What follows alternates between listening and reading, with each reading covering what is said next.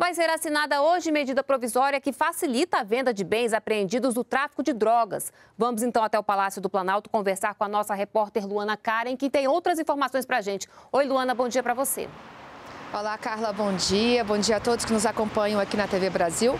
A medida provisória permite que a venda de bens apreendidos com traficantes seja feita de forma mais rápida e que os recursos obtidos possam ser utilizados antes mesmo do trânsito em julgado, ou seja, da decisão definitiva da Justiça. A medida evita que o patrimônio apreendido se deteriore com o tempo, perdendo valor. Há cerca de 80 mil bens de traficantes apreendidos hoje no país. Desse total, cerca de 30 mil têm sentença definitiva da Justiça e já podem ser leiloados imediatamente. A assinatura da medida provisória será no fim da tarde de hoje, aqui no Palácio do Planalto.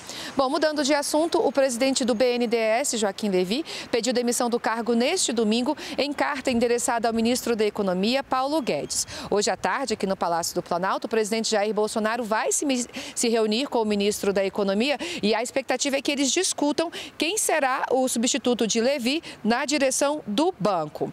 E no final de semana, o presidente Jair Bolsonaro esteve em Santa Maria, no Rio Grande do Sul, onde participou da festa em comemoração ao Marechal Malé, patrono da artilharia. Nossa equipe produziu um vídeo bem bacana que a gente acompanha agora. A família Malé ela é de origem francesa, do norte da França, de Dunkerque.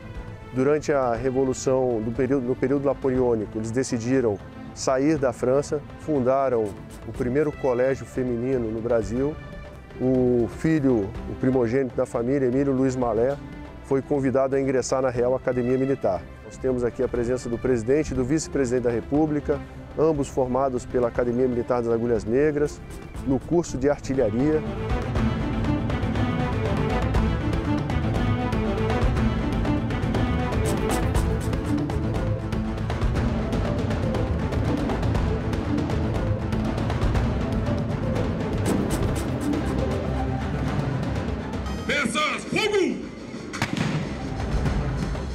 É muito bom integrar umas Forças Armadas como a do Brasil, que em nenhum momento de sua história se furtou de estar ao lado do seu povo para lutar por democracia e liberdade.